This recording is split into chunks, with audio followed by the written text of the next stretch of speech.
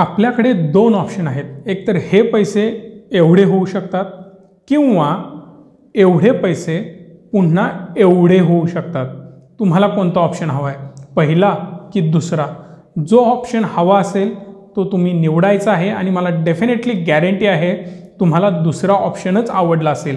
जर तुम्हाला याची सविस्तर माहिती हवी असेल कशा प्रकारे आपण गुंतवणूक करू शकतो खूप चांगले रिटर्न्स मिळवू शकतो यासोबतच रिस्क कवर असेल. सिक्युरिटी असेल या सगळ्याची जाणीव ठेवून कशा प्रकारे आपण गुंतवणूक करायची असते हे जर शिकायचं असेल तर हा व्हिडिओ लक्षपूर्वक शेवटपर्यंत पहा आणि चॅनलला सबस्क्राईब करून बेल आयकॉनला प्रेस करा कारण अशाच नवनवीन व्हिडिओ आम्ही तुमच्यासाठी घेऊन येत असतो. आपली जी कमाई असते त्याची गुंतवणूक आपण कुठे करतो? एक तर एफ डी केली जाते किंवा काही लोकांना एल आय सी करायची सवय असते मॅक्सिमम सगळे पैसे एल आय सीमध्ये इन्व्हेस्ट करतात. काही लोकांना माहिती असतं सोने खरेदी म्हणजेच गुंतवणूक. प्रत्येक वर्षी सोने खरेदी करतात गुंतवणूक संपवून देतात. काही लोकांना सवय असते की गुंतवणूकच करायची नाही साठवून करायचं तरी काय अशीसुद्धा अनेक लोकांची भावना असते. पण ॲक्च्युली डायव्हर्सिफाईड इन्व्हेस्टमेंट खूप महत्त्वाची असते. आता मी शेअर मार्केट रिलेटेड व्हिडिओज बनवतो याचा अर्थ प्रत्येकाने प्रत्येक जी कमवलेली अमाऊंट असेल ती सगळी अमाऊंट सगळा इन्कम फक्त आणि फक्त शेअर मार्केटमध्येच गुंतवायचा असंही नाही. पैशाची गुंतवणूक ही वेगवेगळ्या मार्गाने वेगवेगळ्या ठिकाणी करायला हवी. आता शेअर मार्केटमध्ये सगळा पैसा का गुंतवायचा नाही? समजा एखाद्या वेळेस एखादी वाईट घटना घडली. एखाद्या शेअरमध्ये आपण गुंतवणूक केली असेल मग ती एकाच शेअरमध्ये असेल किंवा दोन तीन शेअरमध्ये असतील त्या स्टॉकची प्राईस कंटिन्युअस फॉल व्हायला लागली शेअरची किंमत पडायला लागली तर त्या केसमध्ये काय होईल? कंपनीज बंद पडली तर काय होईल? हंड्रेड अँड वन पर्सेंट तुमचं नुकसान होणार. जी गुंतवलेली अमाऊंट असेल ती पूर्ण अमाऊंट झिरोपर्यंत जाऊ शकते. जर तुमची गुंतवणूक चुकीची असेल तर. जर एकाच बँकेमध्ये एफ डी केलेली असेल तर काय होऊ शकतं? समजा ती बँक जर बंद पडली बँक करप्ट झाली काहीही इश्यूज झाले विजय माल्य असेल किंवा इतर कोणताही मोदी असेल नीरव मोदीसारखा एखादा व्यक्ती जो पैसे घेऊन पळून गेला तर त्या बँकेची काय अवस्था होते हे मी तुम्हाला सांगण्याची गरज नाही. त्या केसमध्ये ती बँक पूर्णपणे बंद पडू शकते तुमची पूर्ण अमाऊंट झिरो होऊ शकते. म्हणून तुमचा सर्व पैसा वेगवेगळ्या मार्गाने वेगवेगळ्या ठिकाणी गुंतवणूक करायला हवा. आता सर्वात पहिला मार्ग गुंतवणूक करण्याचा तो म्हणजे एफ डी. हो एफ डीसुद्धा करायला हवी. आता मी शेअर मार्केटमधून महिन्याला दहा टक्के पाच टक्के आठ टक्के इन्कम करतो म्हणून मी एफ डी करणार नाही. कारण एफ डी केल्यानंतर वर्षाला मला सहा टक्के आठ टक्के रिटर्न्स मिळतात. मला तेवढे कमी रिटर्न्स नको आहेत म्हणून मी एफ डी करणारच नाही. असं व्हायला नको. आता एफ डी करण्याला पण एक थंब रूल आहे. जर तुमचा इन्कम पन्नास हजारपेक्षा कमी असेल तर मिनिमम सहा पेमेंट जर तुम्ही जॉब करत असाल किंवा छोटा बिझनेस करत असाल जे काही करत असाल पन्नास हजार वीस हजार तीस हजार दहा हजार जो काही तुमचा इन्कम असेल त्या इन्कमचा पर मंथ जो इन्कम आहे इंटू सिक्स म्हणजेच तुमचे सहा पेमेंट एफ डीच्या स्वरूपात ठेवलेले असायला हवेत रिझर्वड असायला हवेत. एफ डीच्या स्वरूपात का असायला हवेत? कारण ज्यावेळी इमर्जन्सीमध्ये गरज असेल त्या केसमध्ये आपण ती अमाऊंट विड्रॉ करू शकतो एफ डी तिथेच ब्रेक करू शकतो. आता एफ डी करताना प्रत्येक वर्षाची एफ डी असायला हवी. असं व्हायला नको की मी एफ डीमध्ये इन्व्हेस्ट केलेत आणि ती दाम दुपटीसाठी केलेत. आता मोस्ट ऑफ द लोकांनाही माहिती असेल की ते दाम दुपटीसाठी इन्व्हेस्ट करतात. म्हणजेच आठ वर्ष दहा वर्ष पंधरा वर्ष आणि ते पैसे डबल होतात आणि त्यासाठी आपण ते गुंतवणूक करतो. पण जर ते पैसे आपण विड्रॉ केले तर त्या केसमध्ये काय होतं? तुम्हाला त्याचं व्याज मिळत नाही किंवा जे व्याज मिळतं ते एक दोन टक्क्याने मिळतं जे की खूप निग्लिजिबल असतं. म्हणून जर एफ डी करत असाल तर ती प्रत्येक वर्षाची असायला हवी. समजा आठ टक्के रिटर्न ती एफ डी देणार आहे तर या वर्षापासून पुढच्या वर्षापर्यंत दोन हजार वीस ते दोन हजार एकवीस एक वर्षाची एफ डी करा.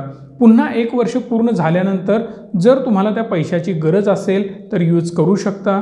जर नसेल तर यू कॅन एक्सटेंड इट म्हणजेच काय? दोन हजार एकवीस ते दोन हजार बावीस पुन्हा एक वर्ष वाढवू शकता. याप्रमाणे त्या पैशाची गुंतवणूक करायला हवी. म्हणजेच काय? जो महिन्याचा तुमचा पगार असेल त्याला गुणिले सहा करा आणि हे सहा महिन्याचे पैसे रिझोर्व करा.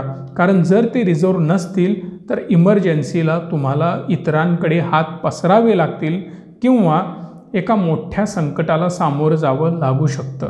आपला दुसरा ऑप्शन आहे हेल्थ इन्शुरन्स किंवा टर्म इन्शुरन्स हेल्थ इन्शुरन्स पण असायला हवा आणि टर्म इन्शुरन्ससुद्धा असायला हवा.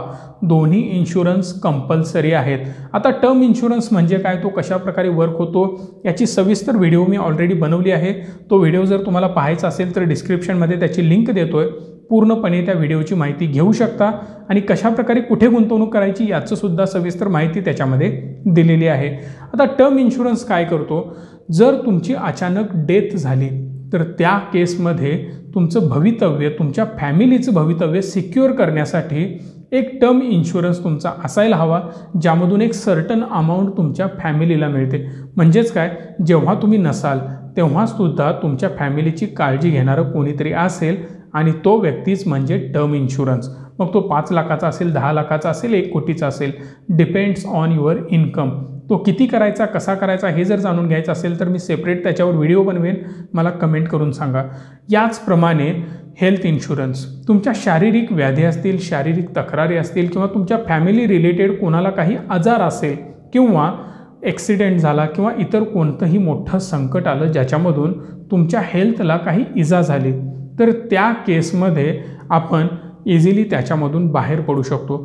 फॅमिलीमध्ये कोणाचं तरी ऑपरेशन असेल तुमचं असेल किंवा इतर कोणाचंही असेल ॲक्सिडेंट असेल कोणतीही केस असेल त्या केसमध्ये लाखो रुपये दवाखान्यासाठी खर्च करावे लागतात.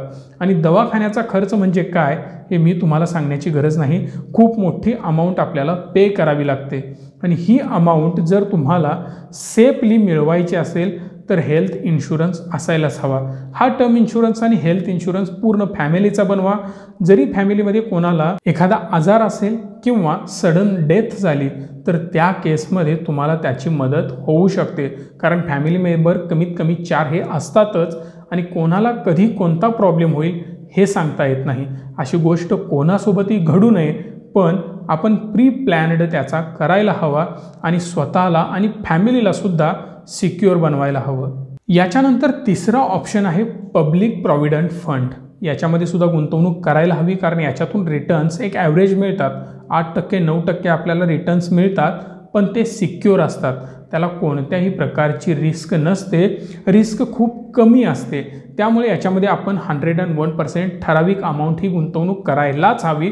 ही अमाऊंट किती असेल? तुमच्या मंथली इन्कमच्या अराउंड हंड्रेड पर्सेंट. म्हणजेच काय? एका महिन्याची सॅलरी तुम्ही याच्यामध्ये इन्व्हेस्ट करू शकता.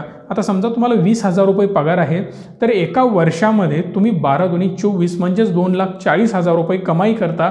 त्याच्यामधील फक्त वीस हजार रुपये याच्यामध्ये इन्व्हेस्ट करू शकता. आणि त्याचबरोबर याचे रिटर्नसुद्धा चांगले आहेत. ना याच्यातून जास्त धोका आहे ना याच्यातून जास्त मोठा फायदा आहे. एक मॉडरेट रिझल्ट याच्यातून तुम्हाला मिळतात. चांगले रिटर्न्स तुम्ही याच्यातून मिळवू शकता. जे की आपण म्हणू शकतो आठ ते नऊ टक्के आपण याच्यातून मिळवू शकतो. पण ही अमाऊंट सिक्युअर असते. पुढचं ऑप्शन आहे म्युच्युअल फंड म्युच्युअल फंडमध्ये सुद्धा इन्व्हेस्ट करायला हवं. जर तुम्हाला डायरेक्ट स्टॉक मार्केटमध्ये इन्व्हेस्टमेंट करायची नसेल तुम्हाला शेअर मार्केटचं नॉलेज नसेल आणि स्टॉक मार्केटमधून चांगले रिटर्न्स मिळवायचे असतील तर एक योग्य म्युच्युअल फंड निवडून त्याच्यामध्ये गुंतवणूक करू शकता आणि अशाच प्रकारे ही इन्व्हेस्टमेंट तुम्हीसुद्धा करायला हवी.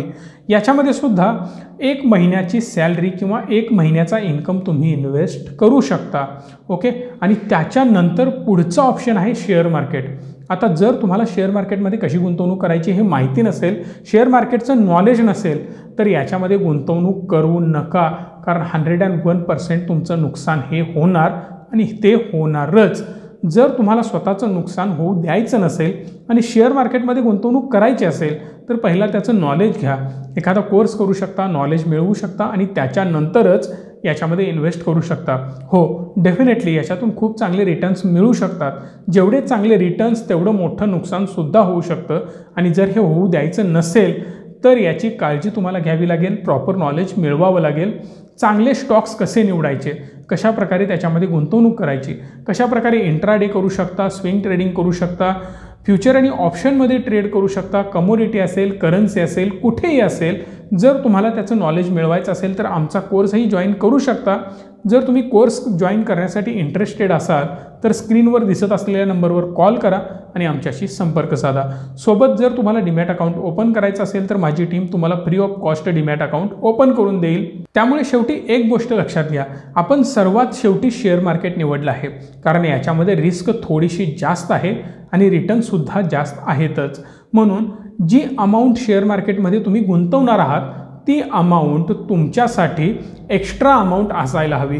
त्या अमाऊंटमुळे तुमच्या जीवनावर एवढा जास्त परिणाम व्हायला नको याची खबरदारी घ्या. कारण काय होतं जर तुमच्याकडे जेवढी शिल्लक अमाऊंट असेल ती जर तुम्ही शेअर मार्केटमध्ये इन्व्हेस्ट केली आणि जर ते बुडाले स्टॉकची प्राईस घसरली तर मात्र तुमच्या जीवनावर त्याचा परिणाम होऊ शकतो. म्हणून जी अमाऊंट इन्व्हेस्ट करणार आहात ती सेफ अमाऊंट असायला हवी. तुमचे ई एम आय असतील वरील सारी जी इन्व्हेस्टमेंट करण्याची पद्धत मी तुम्हाला सांगितलेली आहे ती सगळी इन्व्हेस्ट करून झाली. त्याच्यानंतर तुमचे ई एम आय असतील घर खर्च असेल इतर सर्व गोष्टी असतील ते सगळे खर्च जाऊन जी अमाऊंट शिल्लक राहते ती अमाऊंट तुम्ही शेअर मार्केटमध्ये इन्व्हेस्ट करू शकता. ओके डेफिनेटली माझी अमाऊंट शेअर मार्केटमध्ये खूप मोठी इन्व्हेस्टेड आहे कारण माझा तो बिझनेस आहे मला शेअर मार्केटचं नॉलेज आहे म्हणून मी जास्तीत जास्त अमाऊंट त्याच्यामध्ये इन्व्हेस्ट करू शकतो कारण मला त्याचं प्रॉपर नॉलेज आहे. आणि हो माझीसुद्धा एफ डी आहे म्युच्युअल फंडमध्ये गुंतवणूक आहे यासोबतच हेल्थ इन्शुरन्स किंवा माझ्या फॅमिली इन्शुरन्स मी कवर केलेला आहे टर्म इन्शुरन्ससुद्धा आहे. म्हणून प्रत्येकाने डायव्हर्सिफाईड इन्व्हेस्टमेंट करणं खूप गरजेचं असतं. तरच तुमचं फ्युचर हे सिक्युअर्ड असेल. जर तुम्हाला हा व्हिडिओ आवडला असेल तर लाईक करा शेअर करा तुमचं मत मला कमेंट करा. अजून कोणत्या विषयी व्हिडिओ तुम्हाला पाहायला आवडेल ते सुद्धा मला कमेंट करून सांगू शकता. आणि हो सर्वात महत्त्वाचं चॅनलला सबस्क्राईब करा आणि अशाच व्हिडिओ पाहत राहा. धन्यवाद stay tune and stay positive.